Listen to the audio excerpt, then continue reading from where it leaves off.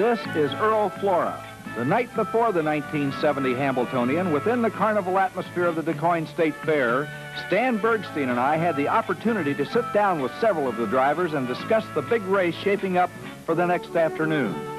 Stan Dancer, how big a thrill is it to have that boy sitting alongside of you driving in the Hambletonian? Well, this is a great thrill. Uh, I'll probably be more nervous with him driving into it than I would as if he wasn't, but uh, it's a great thrill. Have my son driving in the race, it seems like uh, yesterday he was sitting on my lap. Ronnie, at 12, you were only interested in showing pigeons. Now at 21, you're one of the youngest drivers ever to drive in the Hambletonian. When did you get the harness racing bug? Well, it wasn't until I was in high school that I really got interested working during the summers with the horses. And I also got out from under my father's wing and worked for Del Cameron. So I was I was really about 14, 15 when I started working with the horses. But prior to that, it wasn't that. I liked, I followed them, but I never uh, worked with them. Vernon Dancer, what's the story with Victory Star? What are your chances? Well, we've had our problems this year with Victory Star. He's had a hock problem since we raced him in the Dexter at Roosevelt with bothering him. We got that in pretty good shape just before Vernon Downs, and then he came up with a splint which has been bothering him ever since. I trained him here last Wednesday, and he trained real good, and I'm hoping for the best tomorrow. Frank Ervin, this is your 16th Hambletonian. Would you say this race carries more significance than any other in the sport? Yes, I'd compare the Hambletonian to the Kentucky Derby. With the sports world is focused in on DuQuoin, the Hambletonian, every year for this one day, which they can't get with any other harness race in the United States. Howard Beissinger, a year ago, you took the Hambletonian and the Big Five with Lindy's Pride. You said at that time you'd just taken each race one at a time. What about this year with your Hambletonian entry, Paris Air?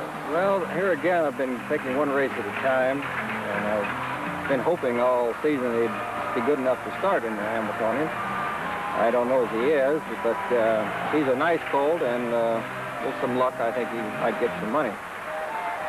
But, uh, it's certainly a little more relaxing uh, this year than it was last year. George Sholty, does relative inexperience in a colt such as your mount, Luther Hanover, play much of a part in a big field such as this?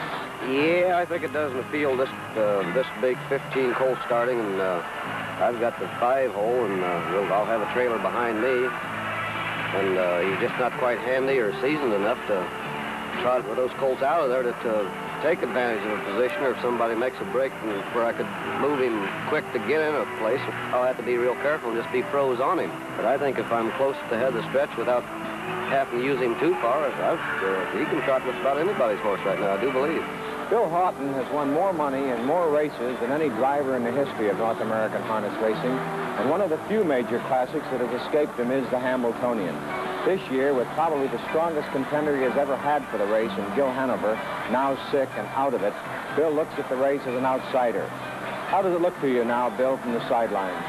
Well, Stan, the other day I was out here to train my horse, and I saw Timothy T train that day, and to me, he uh, trained exceptionally well. I won him two minutes and four fifths, last half in 59 and three, and looked like he was well within himself. And as far as I can see, uh, unless he gets in a lot of trouble, he stands out by quite a few lengths. Bill, no one is more respected in harness racing than you, and no one has done more for the sport. What does the Hambletonian mean to you? I think it's the ultimate uh, objective you could have in your life as far as racing is concerned.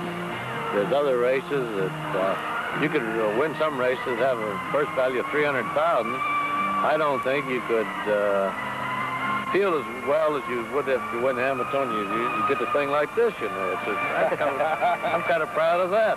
And I think it's the ultimate thing in your profession. Do any of the others have a chance to upset Timothy T? Jimmy's got a colt in there called Formal Notice, and they they timed him two minutes, in fact, in the Fortune Park last week. Jimmy really thinks this is a great horse. And uh, Jimmy's not a, he's, a little, as I say, a little conservative, and I think he's a, a nice colt, but I think it's just, uh, it's the, uh, little bit the luck of the draw, and anybody's got a chance outside of Timothy T. I think he is the best horse in the race.